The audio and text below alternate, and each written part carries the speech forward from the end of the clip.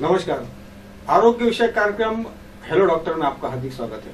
आज हमारे साथ इस कार्यक्रम में उपस्थित है। अकोला ही नहीं बल्कि पूरे विदर्भ में प्रख्यात सेक्स रोग और मनोरोग विशेषज्ञ डॉक्टर दीपक केड़कर। डॉक्टर साहब आपका हमारे इस कार्यक्रम में हार्दिक स्वागत। नमस्ते। डॉक्टर साहब ये एक ऐसा विषय है सेक्स। इसके ऊपर काफ़ी लोग बोलने में हिचकिचाते हैं। और कोई कार्यक्रम भी अगर आप देखते हैं तो काफ़ी इसे अच्छा नहीं माना जाता। है तो लैंगिक समस्या के बारे में लोग जो है इतना हिचकिचाते क्यों? ऐसा है कि हमारे समाज में हमारे देश में सेक्स मतलब ऐसा कुछ तभी सीक्रेट है। जी। सेक्स मतलब ऐसा बुरा माना जाता है। जी। हालाँकि सेक्स अत्यंत मतलब पवित्र है वैसा क्योंकि हम आप जो भी पैदा हुए वो कहाँ से जी। हुए सेक्स से पैदा हुए ना? जी मगर हमारे यहाँ ऐसा ओपनली सेक्स के बारे में बात नहीं की जाती। जी।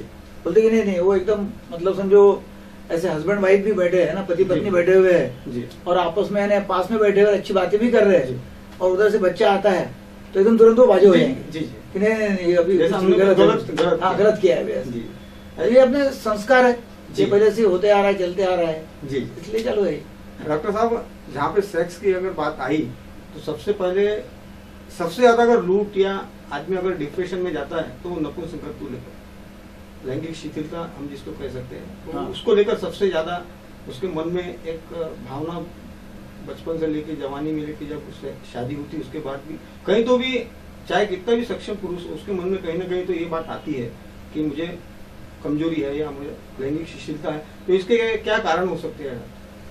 देखो एक तो ऐसा है कि हार्ट अटैक एक बार आ गया ना किसको? जी। हृदय विकार। जी जी। उसका अटैक आ गया। जी। तो आदमी सहन कर लेगा। जी भाई ठीक है हार्ट अटैक आ गया ना उसका इलाज कर जी जी। सेक्स में भाई अपन नपुंसकत्व है। जी। या मुझे नपुंसकत्व आया हुआ है। जी। या मैं सेक्स करने लायक नहीं हूँ। जी। या लैंगिक समस्या मुझे है। जी। ऐसा थोड़ा भी उसको ऐसा डाउट आ गया। या ऐसा थोड़ा विचार भी आ गया। जी। तभी वो एकदम डिस्टर्ब हो जाता है। जी। नहीं ये कुछ तभी भी भयंकर बीमारी हो गई और अपन अभी मैं खुद भाई अभी आदमी में नहीं रहा। अभी मैं पुरुष नहीं हूँ। जी। मतलब वो ख्याल भी आ गया। जी। तो उसके दिमाग में पूरा वो चालू रहता है, चलो जाता है उससे वो डिप्रेशन में चले जाता जी बिल्कुल। उससे वो एंशियस हो जाता है एंग्जाइटी घबराहट बेचैनी चिंता। और वो होने के बाद में अभी मैं कर सकूँगा कि नहीं कर सकूँगा? जी। मैं मेरे पत्नी के नज़र में जी। ऐसा कम हो जाऊँगा क्या? जी। मतलब अभी फिर वो विचार चालू हो। जी और फिर उससे फिर और वो डाउन हो जाता। है। और डिप्रेस हो जाता है। जी। और फिर वो चक्र दुष्ट चक्र में आ जाता हूँ। जी बिल्कुल। तो एक बार कभी कुछ हुआ नहीं उसका। परफॉर्मेंस हुआ नहीं एक बार वो कर नहीं सका। उससे वो फिर डाउन होते जाता जी। और डाउन होते होते होते फिर और गहराई में चले जाते कि अभी अपन कुछ काम के नहीं जी। और नपुंसकत्व आते रहता जी फिर वही घर में झगड़े होना चिड़चिड़ाहट होना हाँ, हाँ। जो खींच है वो पत्नी पर निकालना या बच्चों पर निकालना इससे प्रकार शुरू हो जाता है। हाँ। डॉक्टर साहब जो जैसे हमने लैंगिक समस्या का विषय रखा है तो वे युगों में भी उसका प्रमाण पाया जाता है। हाँ। मतलब ऐसा है देखो कि सेक्स कर नहीं सकना मतलब जी। आ, लिंग में शिथिलता आना या शिथिल हो जाना। जी। या मतलब उसमें वो परफॉर्मेंस नहीं कर सका उसका। मतलब। नपुंसकत्व आया भाई वो अभी सेक्स नहीं कर सकता। है ना? नस में कमज़ोरी आ गई। जी।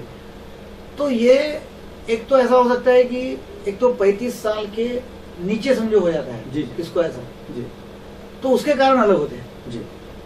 और 35 साल के बाद में समझो ऐसा हो जाता है तो उसके कारण अलग हो सकते हैं। जी।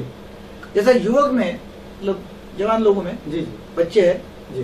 तो बच्चा जैसा यूजुअली भी आजकल तो ऐसा हो जाता है कि तेरह चौदह पंद्रह साल के बच्चे जी। उनको सेक्स कैरेक्टरिस्टिक आना शुरू हो जाते हैं उनके सेक्स भावना शुरू हो जाती है। जी। पंद्रह सोलह साल के इसमें चौदह में भी होता है। जी। और फिर वो सेक्स की बातें करना चालू करता है। आजकल तो आजकल तो ऐसा हो गया सोशल मीडिया है जी जी व्हाट्सएप है फेसबुक है तो बहुत ही ज्ञान लोगों को हुआ है अभी। जी। और फिर उसको वो भावना निर्माण हो जाती है वो सब देख के देख के। और फिर उसमें वो कहीं ना कहीं जाके कोशिश करता है। जी। और कोशिश करके वहाँ फेल हो सकता है। जी। क्योंकि वहाँ जब जाता है तब डर रहता है। जी। कोई मुझे देख लेगा। जी जी। कोई देख लेगा तो क्या होगा? जी। या फिर मैं मेरी गर्लफ्रेंड है जी जी। उसके साथ में मैं कर सकूँगा कि नहीं कर सकूँगा? जी। उसके नज़र में गिर जाऊँगा क्या? जी। तो फिर ऐसा होता है कि भाई उस समय उसको डर लगता है और वो डर डर के इसमें समझो वो कुछ परफॉर्म करने की कोशिश कर रहा है कुछ एक्शन लेता है वहाँ। तो फिर वहाँ वो फेल हो जाता उसके मन में एक धारणा बैठ जाती कि मैं जो हूँ इसमें आदमियों में नहीं हूँ नपुंसकत्व हो या हाँ। लिंगिक शिथिलता है उसको जानकारी अधकचरा ज्ञान होने के कारण वो ऐसा हो जाता है। इस प्रकार की समस्या आ सकती है। और वो पैंतीस साल के नीचे। समझो ऐसा होता है। जी। मैं अप्रोक्सीमेटली बता रहा हूँ पैंतीस साल। जी। उसके नीचे होता है तो समझ जाना कि भाई ये साइकोलॉजिकल है मानसिक कारणों की वजह से ऐसा हुआ है। जी। उसके लिए शारीरिक कारण नहीं। जी। मानसिक। मानसिक हाँ। इसका मतलब ऐसा भी नहीं कि पैंतीस साल के बाद में हुआ तो मानसिक नहीं है ऐसा भी नहीं मतलब मोटा मोटा हिसाब में आपको बता के हिसाब से उसके अंदर हाँ। थोड़ा बहुत अंतर आ हाँ, सकता कि है भाई कोई पैंतीस साल के नीचे तो साइकोलॉजिकल कारण मानसिक रूप से वो नपुंसकता है उसको आगे ऐसा समझ जा सकता है। कि भाई मतलब कि उसका उसका साइकोलॉजिकल कारण हो सकता है। जी जी। तो साइकोलॉजिकल कारण में भी वही है। कि भाई एक तो बच्चे लोग भी नशा करते हैं। जी। उसके वजह से उसको एक शराब पीना जी जी। स्मोकिंग से भी ऐसा होता है। जी। और फिर रात रात जगना। जी। और शादी होने के बाद में भी ऐसा टेंशन बहुत प्रेशर अभी ऐसा है कि आईटी डिपार्टमेंट में कोई काम कर रहा है नहीं? जी, लेकिन इन्फॉर्मेशन टेक्नोलॉजी है बड़ी बड़ी कंपनियों में इतना काम का स्ट्रेस है बहुत प्रेशर काम का है। और सुबह से लेके शाम तक मतलब काम करो दौड़ो भागो इधर जाओ उधर जाओ फिर कंपटीशन टफ कंपटीशन है। तो उससे क्या होता है कि स्ट्रेस काफ़ी आता है। जी। और स्ट्रेस आने के बाद में वो ऐसा घर आके एकदम थक जाता है। जी। अब उसमें समझो उसने कोशिश किया। जी। है ना सिक्स करने की। तो उसको जमता नहीं। जी और एक बार- का टेंशन उसके सिर पर रहता थकान उसके अलग से रहती हावी रहती है। हाँ तो और वो जमता नहीं। जी। जमा नहीं फिर उसको फिर हो जाता कि अभी कुछ तो भी प्रॉब्लम हो। जी। फिर दूसरा है कि एंग्जाइटी है। एंग्जाइटी न्यूरोसिस नाम की जो बीमारी होती है जी। है ना टेंशन चिंता रोग इसको हम बोलते हैं। तो वो बीमारी से नपुंसकत्व आ सकता है। डिप्रेशन की वजह से आ सकता है। है ना कि निराशा है नैराश्य रोग है डिप्रेशन है उसकी वजह से आ सकता है। तो ऐसे कई मानसिक कारण है कि भाई पति पत्नी का नहीं पटता। जी। और पति पत्नी का नहीं पटने से भी उसको जमता नहीं है। जी। ना कार्यक्रम नहीं कर सकता वो सेक्स नहीं कर सकता है। या फिर घर में काफ़ी सारे लोग हैं उनको प्राइवेसी मिलती नहीं जी जी जी कभी कभी तो ऐसा होता है कि एक ही कमरा है। जी। एक कमरे में पार्टीशन डाला है एक पर्दे का। जी। उधर माँ बाप है इधर लड़का और उसकी पत्नी है। जी। तो उसमें फिर उस, उसको इतना ये रहता है मतलब फ्रीडम नहीं है प्रेशर है। तो उसको वो नपुंसकत्व आ जाता है। तो पैंतीस साल के नीचे समझे ऐसा हो गया तो उसको देखना पड़ता है कि भाई इसके दिमाग में क्या लोड है क्या टेंशन है। जी। कुछ गलत फहमियाँ भी रहती है। गलत फहमियाँ कौन सी कि भाई मैंने हस्तमैथुन बहुत बार किया करके अभी मैं आदमी में नहीं रहा। एक गलत फहमी है और उसकी वजह उसको नपुंसकत्व आ सकता जी। दूसरी और एक गलत फहमी है कि मुझे नॉक्चर्नल उसको एमिशंस होते हैं। मतलब आ, सपन दोष बोलते हैं। ड्रीम्स में सपने में उसका वीर्य बाहर निकलता है। तो सपने में मेरा बहुत वीर्य बाहर निकल गया। अभी मैं काम कर नहीं रहा। इसलिए उसको आ सकता है। या संडास करने के समय लेटरिन करने के समय वीर्य बाहर निकलता है। तो उस समय तो मैं उसमें भी काम का नहीं रहा। या मैं कहीं वैश्या की तरफ़ गया था। मुझे अभी एच हो गया। ऐसा उसको डाउट लगता है और मैं काम का नहीं रहा। या वेश्या के पास में जाता है। टेंशन दिमाग के ऊपर रहता है। हाँ उसको वहाँ जमता नहीं। फिर वो बोलती कि तू काम का नहीं। तू चले जा। फिर वो वेश्या ने एक बार सर्टिफिकेट दे दिया उसको तू काम का नहीं है फिर आ जाता है। तो ऐसे काफ़ी सारे कारण है कि बच्चों मतलब पैंतीस साल के नीचे साइकोलॉजिकल ज़्यादा कारण है मानसिक रूप से कि उसको नपुंसकत्व आता है और वो काम काम नहीं कर सकता मतलब समागम नहीं कर सकता या सेक्स नहीं कर सकता।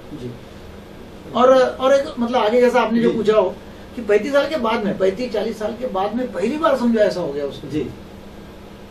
कि भाई अभी नपुंसकत्व आया हुआ है और अभी मैं अभी तक कर रहा था हाँ, अभी नहीं कर रहा तो ये तो मानसिक कारण तो है ही वो भी हो सकते हैं। बाद में फिर अपने को ये देखना पड़ता है कि शारीरिक कारण कुछ है क्या? जी। बदन में कुछ तकलीफ़ है क्या? उसकी वजह से हुआ। जी। तो उसमें ये होता है कि स्मोकिंग की वजह से ऐसा हो सकता है नंबर एक। नंबर दो शराब पीने की वजह से होता है। ऐसा ऐसा बोला जाता है कि alcohol it increases the desire but takes away the performance मतलब शराब से क्या होता है कि सेक्स करने की इच्छा बहुत ज़्यादा होती है जी। मगर सेक्स नहीं कर सकते। जी। तो परफॉर्मेंस कम हो जाता। परफॉर्मेंस कम हो जाता है ना? फिर दूसरा है कि डायबिटीज़ है। जी। डायबिटीज़ मतलब मधुमेह जी। शुगर की शक्कर की बीमारी है। जी। तो उसके वजह से क्या होता है कि जो खून जिसमें बहता है मतलब जो ब्लड वेसल्स है जी। उसका अंदर का जो है ना जी। तो वो जो मतलब जहाँ से ब्लड फ्लो होता है जी।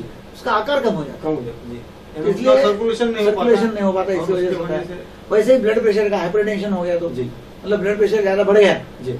और उसकी वजह से होता है या ब्लड प्रेशर की गोलियाँ खाने की वजह से भी कुछ होता है। जी। फिर कुछ लोगों को स्पाइन मतलब पीछे जी, रीढ़ की हड्डी में। कुछ बीमारी हो गई या कुछ मार बैठ गया जी। तो उसकी वजह से वो कर नहीं सकता।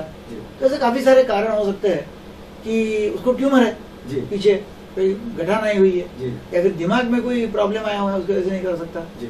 या नसों में कोई कमज़ोरी आई हुई है जी। जिसकी वजह से नहीं कर सकता। ऐसे काफ़ी सारे कारण है। जी।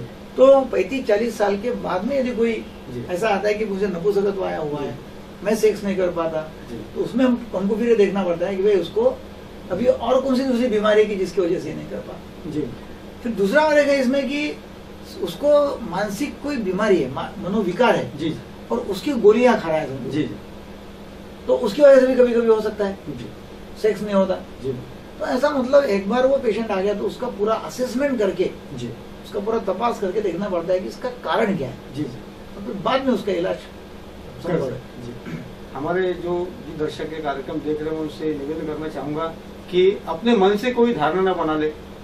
इसके लिए सही मनोचिकित्सक के पास जाए अपना उपचार करें। केवल अपने लोगों ने कह दिया या अपने मन में आप बना लो ये बात गलत है। तो आप इसके बाद ऐसी कोई भी धारणा न बनाएँ और अपने जो भी आप मनोचिकित्सक के पास जाना चाहते हैं उनसे जाकर उनकी सलाह लें। डॉक्टर साहब जैसे अपने अभी आपने ब्लड प्रेशर वगैरह बताया तो कोई अगर हार्ट का पेशेंट है तो हम्म। वो भी सेक्स कर सकता है या फिर हम्म। क्योंकि हार्ट का संबंध सेक्स से होता है उत्तेजना- मतलब ऐसा है कि किसको हार्ट अटैक आया हुआ है? जी जी। तो हार्ट अटैक आने के बाद में क्या होता है कि उसको बोलते डॉक्टर लोग कि अभी जरा रेस्ट करो आराम करो। जी। तो एक बार हार्ट का ऑपरेशन भी हो चुका है या हार्ट का अटैक भी आ गया है। जी। तो एक बार उसका रेस्ट उसकी काफ़ी दिन हो गई तीन हफ़्ते महीना भर। डॉक्टर साहब ने जैसा बोला है डॉक्टर को उसको मेडिकल एडवाइस है कि आराम करो। जी जी। बाद में वो कर सकता है। क्योंकि सेक्स करने में मतलब वो भी एक तरह की एक्सरसाइज है। जी जी। तो डॉक्टर ने बोला है कि ज़्यादा एक्सरसाइज मत करो। जी। तो उस समय फिर सेक्स करने से थोड़ा सा दूर रहना चाहिए। करना चाहिए। और एक बार जब एक्सरसाइज करने के लिए डॉक्टर ने परमिशन दे दिया जी। बाद में वो सेक्स कर सकता है। उसमें कोई ऐसी परेशानी होती नहीं है। डॉक्टर साहब आप बहु प्रतिभा के धनी हैं। आप एक सेक्स रोग विशेषज्ञ तो ही, साथ में मनोविकार तज्ञ भी है। आप नशा मुक्ति का भी काम करते हैं। आप हिप्नोथेरेपिस्ट भी है एनएलपी से ट्रेनर भी है आप साथ ही साथ बिज़नेस कोच भी है मोटिवेशन स्पीकर भी है। तो इतना आप कैसा हैंडल कर पाते तो वो तो काफ़ी साल से कर ही रहा हूँ। जी। जैसा अभी यहाँ अकोला में हमारा जो हॉस्पिटल है जी। तो वहाँ तो सब तरह के पेशेंट आते हैं। मानसिक जो उनको बीमारी है वो लोग आते हैं। जी। तो यहाँ हमारे यहाँ हम पेशेंट के साथ में कोई रिश्तेदार है जी। तो वो रह सकते हैं और वो रह के उनका हम इलाज करते हैं उसके लिए हमारा एक हॉस्पिटल है। जी। फिर हमारा दूसरा एक हॉस्पिटल अकोला में है कि जहाँ रिश्तेदार रहना नहीं चाहते हैं। जी। उनके साथ में। वो घर जाके काम कर सकते हैं। जी। कमा सकते हैं। पेशेंट को अच्छा करने के लिए यहाँ हमारे यहाँ रखते हैं। बाद में उनको इतला करते हैं वो आके उनको ले जाते ले हैं। जाते तो यहाँ बिना रिश्तेदार का भी हमारा हॉस्पिटल है। वैसे फिर हमने नागपुर में भी हॉस्पिटल खोला हुआ है। जी। पूना में भी हॉस्पिटल है। ठाणे में हॉस्पिटल है। और हर जगह फिर वो हम हॉस्पिटल्स में पेशेंट लोगों का इलाज करते रहते हैं। जी। मेरा जो है मेरी ऐसी इच्छा है मेरा जो कॉन्टेक्स्ट है संदर्भ है काम करने का वो ये है कि भाई भारत में हमारे देश में जी। ये देश हमारा मनोरुग्ण मुक्त हो जाए। जी। हमारा देश नशा मुक्ति जी। पूरे देश में हो जाए। यहाँ का क्योंकि क्या होता है कि एक यदि मनोविकार किसके घर में है मनोविकार जी। जिसको हुआ है ऐसा जी। तो कम से कम बीस लोग अफेक्ट हो जाते जी। हैं बीस लोगों को तकलीफ़ होती है उसके आजू बाजू वाले दोस्त लोग बोलो अ, मतलब फैमिली मेंबर बोलो बीस लोग अफेक्ट होते हैं। शराबी एक है तो बीस लोग अफेक्ट होते हैं। जी। तो इनका इलाज यदि हम अच्छा करते हैं तो वो संभव है। जी। तो ये भी मैं करते रहता हूँ। और मोटिवेशनल स्पीकर हूँ। जी। जैसा ट्रांसफॉर्मेशन का एक वर्कशॉप है लैंडमार्क करके आपने नाम सुना जी जी जी। तो उसमें मैं सेमिनार सेमिनार सेमिनार है। तो सेमिनार लीड करता हूँ। फिर लोग लोग बिज़नेस के लिए पूछते हैं बिज़नेस ग्रोथ बिज़नेस एक्सपांशन उसके लिए भी बिज़नेस कोचिंग उनको करता हूँ। जी जी। फिर मोटिवेशनल स्पीकर हूँ। यहाँ लोग कोई लाइक स्टूडेंट्स है। ट्वेल्थ में स्टूडेंट है टेंथ में स्टूडेंट है तो उनको मोटिवेशन देने के लिए स्पीकर करके मैं जाता हूँ। जी। इसका मतलब हमारा ये भी मेरा कॉन्टेक्स्ट है कि भाई लोगों को फाइनेंशियल फ्रीडम मिले जी। आर्थिक सुबत्ता होनी चाहिए। जी। उसके लिए हम मैं एक बैंक का चेयरमैन भी हूँ रतन बैंक जी। उसका चेयरमैन भी हूँ। वहाँ हम लोगों को आर्थिक रूप से हम फाइनेंस करते हैं। काफ़ी सारा फाइनेंस हम लोगों को करते हैं। जहाँ से लोग फाइनेंशियल फ्रीडम उनको मिलेगा जी। धंधा करके। जी। तो वो भी हम करते हैं और सब मैनेज होता है। क्योंकि मैनेज करना चाहिए। और वो जब करने की इच्छा है तो हो जाता है मैनेज पूरा। डॉक्टर साहब आप आ ही गए तो एक आप मनोरोग विशेषज्ञ है तो एक इसे हम शादी तो नहीं कर सकते किसी लोगों को जैसा पैसा कमाने का होता है किसी को अपनी सुंदरता का घमंड होता है किसी को तो इस पर भी कुछ हो, सकता है जैसा मेरा कहने का तात्पर्य है कि जैसा हर किसी में हर व्यक्ति है कोई भी ऐसा व्यक्ति नहीं है जो जिसके जिसके अंदर कुछ पागलपन के मानसिक रोग के लक्षण नहीं इतना है कि किसी के दिखाई देते हैं किसी के नहीं दिखाई देते। तो आपके पास ऐसे आते होंगे पेशेंट्स तो आप उनको कैसा पहचानते हैं कि उसको किस प्रकार का रोग हुआ है मानसिक रोग नहीं नहीं वो तो ऑब्जर्वेशन करना पड़ता जी है। ऑब्जर्वेशन हाँ देखना पड़ता है कि भाई जैसा एक तो घर के लोग रिपोर्ट देते हैं जी जी। उसके आजू बाजू वाले जी। इसको कोई प्रॉब्लम नहीं है। प्रॉब्लम और नहीं तो उनको ऑब्जर्वेशन करते हैं उसका में बातचीत करते हैं। जी। तो बातचीत में समझ जाता है जी। कि ये थोड़ा सा इधर उधर हो रहा है गड़बड़। गड़बड़। अभी वो एक्सपीरियंस से तो आ ही जाता है वैसा जी। कि भाई ये ट्रैक छोड़ के बात कर रहा है। बात तो कहीं तो भी गड़बड़ है। गड़बड़ है। हाँ, तो फिर वो उसका इलाज करने की ज़रूरत है क्या? क्योंकि कुछ लोगों को दवा देने की ज़रूरत होती है। और कुछ लोगों को काउंसिलिंग करने हो है। काउंसलिंग बहुत ज़्यादा ज़रूरी है। क्योंकि सेक्स की जो बीमारी है उसमें भी काउंसिलिंग करना वो ज़रूरी है। जी। यूजुअली मैं क्या करता हूँ कि सेक्स में भी अकेला इलाज करने से मैं बोलता हूँ कि भाई आप पति पत्नी दोनों भी आ जाओ। जी जी। है ना? उसमें पति पत्नी दोनों भी आते हैं क्योंकि ये जो खेल है जी ये जो सेक्स का जो गेम है जी। रिलेशनशिप जो है जी। कि वो बेड में दोनों भी रहते हैं। ऐसा नहीं कि एक रहता है? जी तो बीमारी एक्चुअली दोनों की है एक की बीमारी नहीं है। तो काउंसलिंग के लिए भी पति पत्नी को दोनों को बुलाता हूँ हाँ, और दोनों को काउंसलिंग उनको करता हूँ। और क्या किया जाए कि जिसके जिसकी वजह से इनका ये प्रॉब्लम का हल हो जाएगा है ना? उसके लिए दोनों हाथ से दोनों को हाँ क्योंकि दोनों की इच्छा होना ज़रूरी है। जी है ना? और फिर उसमें प्रॉब्लम जो होता है उसका हल निकलता है। डॉक्टर साहब पति पत्नी ने किस उम्र तक सेक्स कर सकते हैं ऐसा कुछ भी नहीं है कि भाई किस उम्र तक कर सकते हैं। ठीक है जितना- ऐसा देखा जाता है कि भाई संतान अगर हो गई थोड़ी बड़ी हो गई तो फिर महिला थोड़ा हाँ वो भी वो भी हमारे यहाँ हाँ। वो हमारे समाज में ऐसा है कि नहीं अभी बच्चे हो गए। जी जी। बच्चे बड़े हो गए। जी। अभी मासिक धर्म जो है मेंस्ट्रुएशन अभी वो भी समझो भी खत्म होते आ रहा। तो अभी पैंतालीस साल हो गए उम्र। बस अभी अपना सब आ, मतलब जूस निकल गया है। ऐसा लोगों को लगता है है ना? गारंटी वारंटी खत्म हो गई ऐसा लोगों को लगता है। और फिर बोलते सेक्स करते हैं। ऐसा कुछ भी नहीं है। सेक्स जो है हाँ, वो एक भूख है। जैसे हमको अनाज की भूख लगती है। स्वाभाविक है। अनाज की भूख लगती है। हाँ, तो जब भूख लगती है तो हम खाते हैं। सेक्स का है कि जब भूख लगती है तो सेक्स करने का और उसमें ऐसा कोई उम्र की उम्र की कोई मतलब ऐसी लिमिट नहीं बंधन नहीं है। है। सीमा नहीं है। हमने सुना है लोग सत्तर साल के अस्सी साल की उम्र में भी शादी करते हैं। है ना? जी हाँ और वो सेक्स करते हैं कोई प्रॉब्लम नहीं उसमें। डॉक्टर साहब पति पत्नी के पीछे प्रेम और सामंजस्य होना बहुत ज़रूरी है। हम्म, क्या दोनों के बीच का संघर्ष सेक्स पर परिणाम डालता है? बिल्कुल डालता है कि दोनों के बीच में यदि पट्टा नहीं है जी। और अभी मेरे पास में कितने आते हैं कि भाई। उनका दोनों का छोटी छोटी बात के ऊपर प्रॉब्लम होता है छोटी छोटी बात। छोटी बात मतलब ऐसा है कि तू तूने मुझे सवेरे चाय नहीं दिया। ईगो कहीं तो भी हाँ ईगो मैं घर मैं कमाता हूँ मैं तू घर में बैठी रहती है। जी। तू कुछ नहीं करती मैं कमाता हूँ।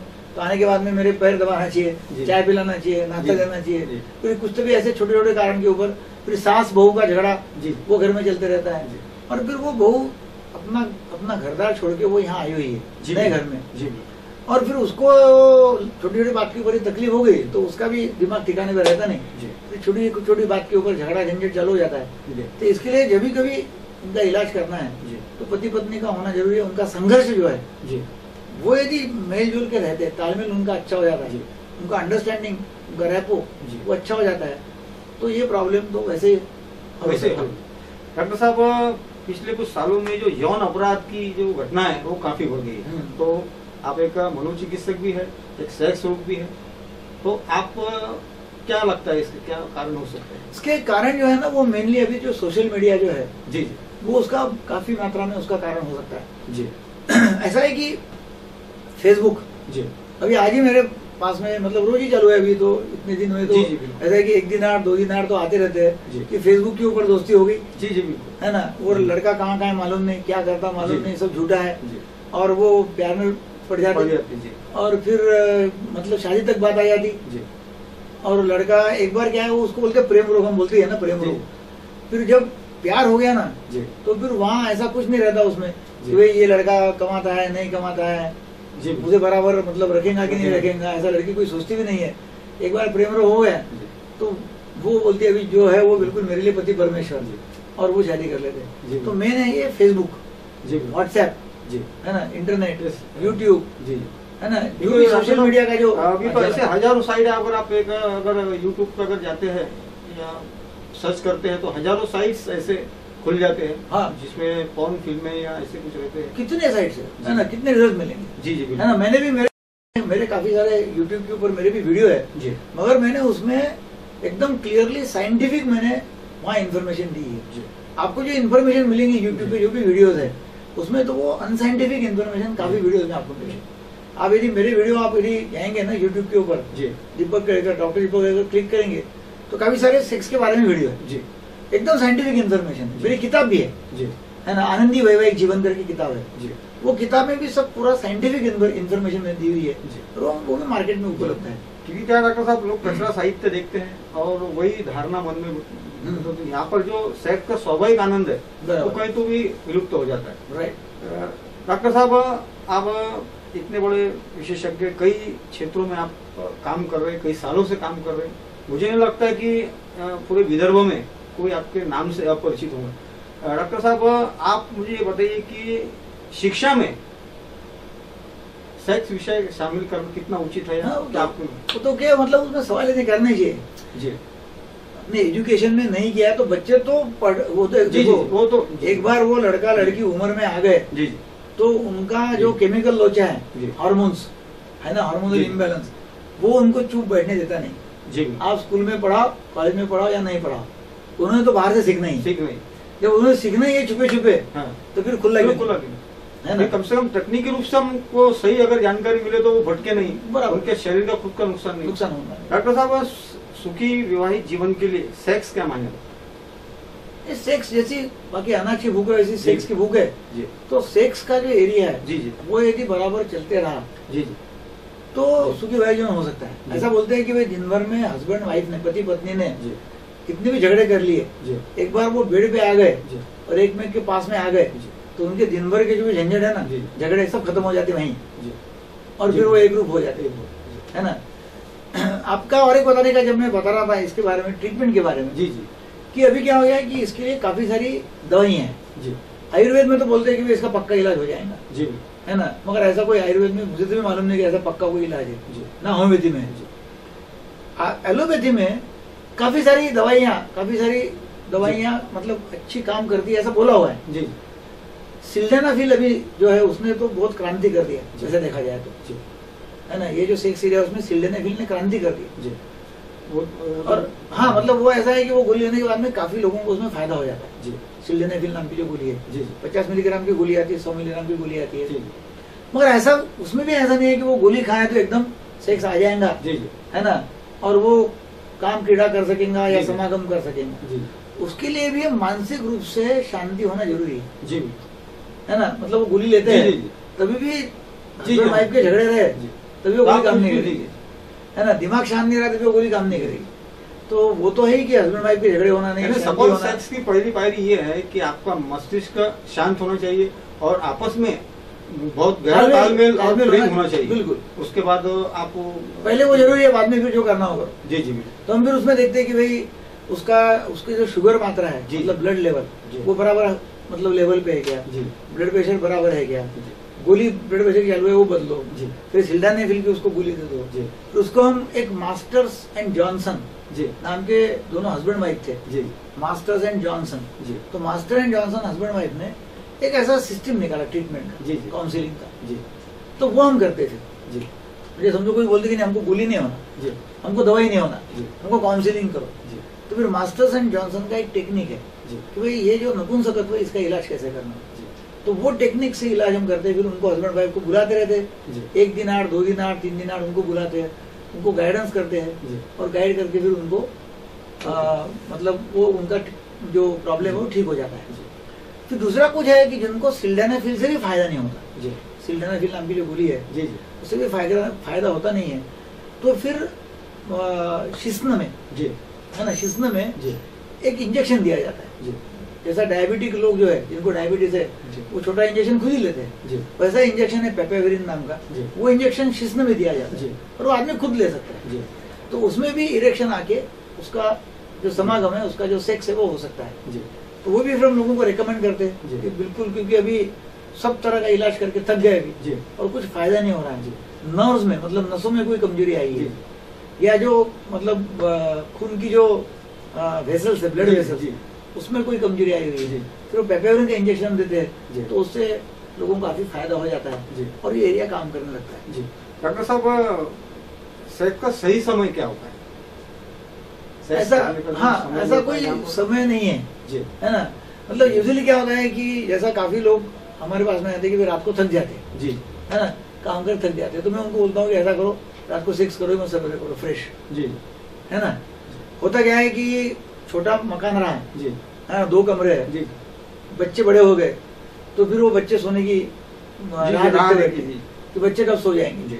और बच्चे सोने के बाद में भी आवाज़ नहीं आने को ना। जी, जी, करके एकदम एकदम शांति से करो इधर। मतलब ऐसा है कि और कुछ कुछ जगह तो ऐसा है कि बड़े बड़े बच्चे होने के बाद में भी घर भी मकान भी बड़ा है। तभी भी बच्चे सात आठ साल दस साल के होने के बाद में भी वो माँ बाप के पास हैं। और उनको वो मन में धांसती रहती है कि बच्चा उठेगा क्या? बच्चा उठेगा क्या? और उसमें प्रॉब्लम आ जाता है। कभी तभी वो बच्चा गलती से उठ जाता है। जी। और जब वो उठ जाता है तो उसको जो मन में एकदम ऐसा शॉक बैठता है और वहाँ से फिर उसका शिस्न में ताठरता आना जो है जी। बंद हो जाता है। वो बच्चा उठ जाता है। जी। और फिर उसको कुछ तो भी करके सुला और कुछ तो भी मतलब छुपा वो। और फिर वो जो धक्का है तो इसलिए मैं हरदम ये बोलता हूँ कि एक बार बच्चे समझो दो तीन साल के हो गए। तो बच्चों को कमरे में सुलाने का ही नहीं है। कभी भी नहीं सुलाने का। हाँ क्योंकि उससे फिर तकलीफ़ ज़्यादा हो सकती है। जी। डॉक्टर साहब बहुत से लोगों की एक ऐसी भी समस्या रहती है कि उनमें जो लिंग में कठोरपना भी आ जाता है सेक्स भी अच्छा करते हैं। लेकिन कई बार होता है कि सेक्स के संभोग के बीच में ही कहीं तो भी लिंग हम्म। ढीला पड़ जाता है तो इसके क्या कारण हो सकते हैं? मानसिक है या फिर हाँ मतलब ऐसा है कि कठोरता तो आती है शुरू में। जी जी। है ना? और एक्चुअली जब काम करना चालू करते हैं तो उसमें बीच में ही उनकी। कठोरनेस नष्ट हो जाती है। है ना? वो जो शिस्न है वो लूज हो जाता है। अभी उसमें दिमाग का काफ़ी सारा खेल है। है ना? जी अभी दिमाग ही ठिकाने में नहीं है। जी। है ना? कुछ ना कुछ विचार चालू है। जी। तो फिर देखो ये ठीक रहा तो नीचे ठीक रहे। जी। यहाँ टेंशन है जी। तो नीचे कोई लूज नहीं रहेगा। यहाँ लूज है तो नीचे भी टेंशन आएगा। मतलब यहाँ लूज होना यहाँ रिलैक्स होना वो ज़रूरी है। तो दिमाग में क्या चालू है? जी। है ना? कोई आने वाला है? है ना? कोई ठक ठक करेगा अंदर आ वाला कोई सुनेगा? बाजू कमरे में कोई सोया हुआ है? या कोई आने का डर है? कोई सचमुच आ गया या ऑफ़िस के विचार है धंधे के विचार है कोई ऐसे विचार आ गए? तल्लीनता तल्लीनता की जो कमी मतलब- जहाँ पे भंग हो गई वहाँ पे वहाँ पे हाँ मतलब is not present to the present जी जी। वहाँ वो एंजॉय नहीं कर रहा। जी। वहाँ शरीर शारीरिक रूप से वो एक है। एक है। मानसिक रूप से एकदम अलग है। उसमें शरीर संभोग के इसमें शरीर और मानसिक रूप से दोनों एक होना बहुत हाँ ज़रूरी है। अभी आपने बातें निकाली उसमें और एक होता है है। जी। कि जैसे काफ़ी लोगों को ऐसा होता है कि पत्नी के साथ में जमता नहीं। जी। और उनका बाहर संबंध रहते और बाहर जमते रहते जी। अब इसमें बहुत प्रॉब्लम आता है। जी। है ना? कुछ कुछ लोगों का उल्टा होता है कि पत्नी के साथ में जमता है उनके बाहर संबंध रहते हैं। वो भी लोग हमारे पास में आते हैं, अभी कैसा करना जी। तो इसके क्या कारण हो सकते अभी उसमें वही है कि क्या हुआ वो उसका एनालिसिस करके काउंसलिंग करना। जी। है ना? जी बिल्कुल। कि घर में जम रहा है पत्नी के साथ में बाहर जमता नहीं। इसका मतलब भी उसको बाहर टेंशन आ रहा जी डर लग रहा है। है ना? और दूसरा ऐसा होता है कि बाहर जमता घर में जमता नहीं। है जी। वो तो मैं मज़ाक से भी ऐसा कभी बोलता हूँ कि क्या होता है रोज घर घर मतलब रोज घर का खाके खाके।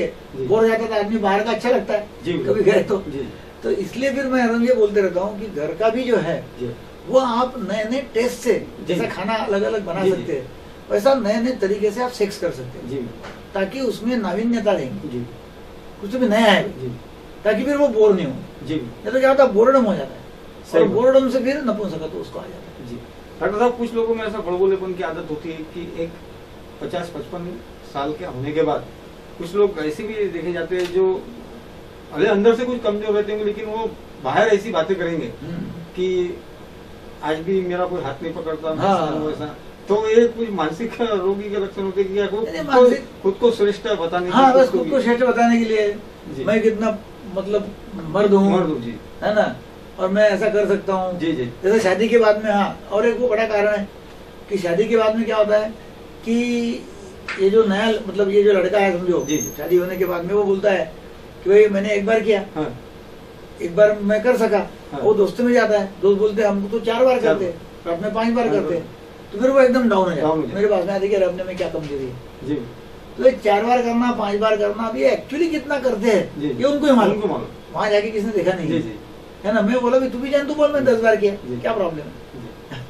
है आपको ऐसे भी पेशेंट आते होंगे जो झिझकते होंगे लेकिन आपको इतना अनुभव है कई सालों से।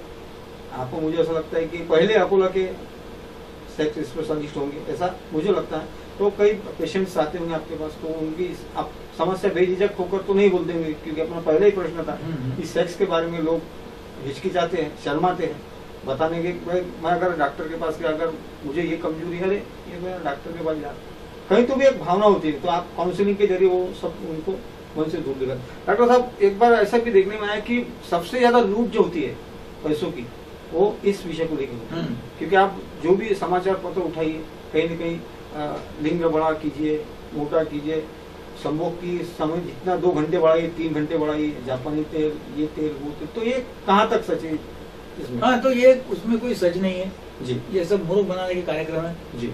है ना ऐसा कोई भी मतलब आज तक ऐसा कोई भी ऐसी दवाई नहीं है। जी।